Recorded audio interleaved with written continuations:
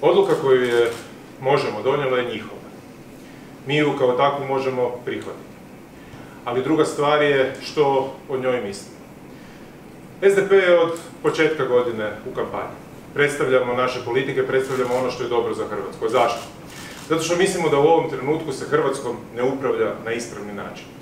Vodi ju kriminalna organizacija koja uopće ne mari za građane.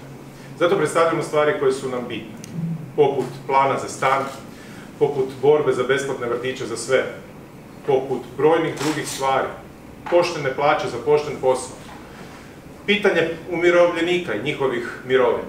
To su stvari koje su nam prioriteti. I to su stvari koje želimo realizirati za Hrvatsku, za njene ljude. Kako ćemo to realizirati, ovisi naravno o uspjehu na izborima.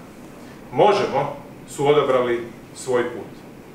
I za taj put, ocjenu, a onda i cijenu, naplatit će i birači. Pozitivnu ili negativnu.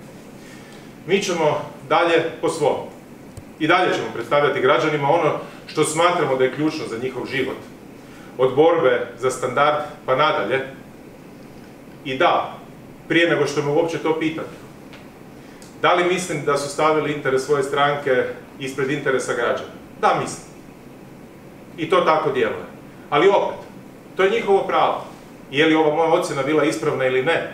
U konačnici, reći će birači, građani ove zemlje, ljudi Hrvatske na izborima. Što ste odlučili